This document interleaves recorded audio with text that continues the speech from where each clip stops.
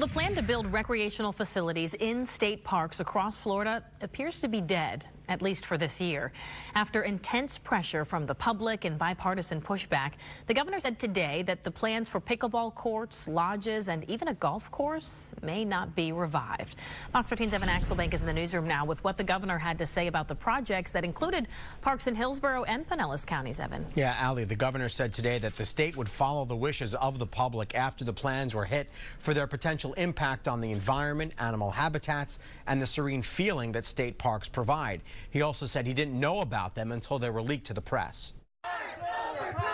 After days of emotional protests, the governor tried to quiet speculation that state parks might become places for pickleball.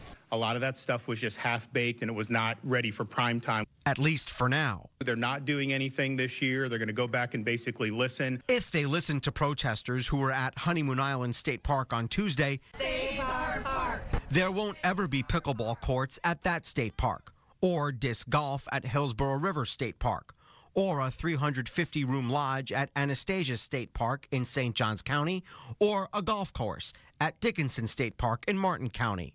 The governor insisted Wednesday that he was not aware of the plans until they were leaked, which he called a politically motivated hit. Here's the thing I'd rather not spend any money on this, right? I mean, if people don't want improvements, then don't do it. If there does need to be improvements, we're not going to take away any green space. You know, we're going to, we have an existing footprint. The Sierra Club, which spearheaded statewide protests on Tuesday, the day originally slated for public meetings about the plans, doesn't take the governor's backpedal at face value.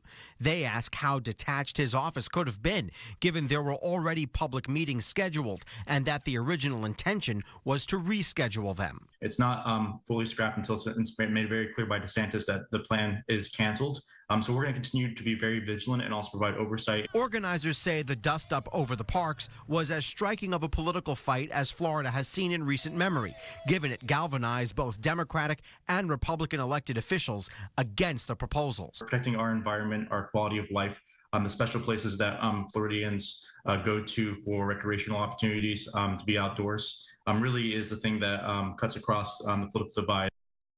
The state DEP had said that they believe that there was a large number of people who would be interested in those amenities like pickleball courts and camping cabins, but those supporters never materialized, at least not publicly.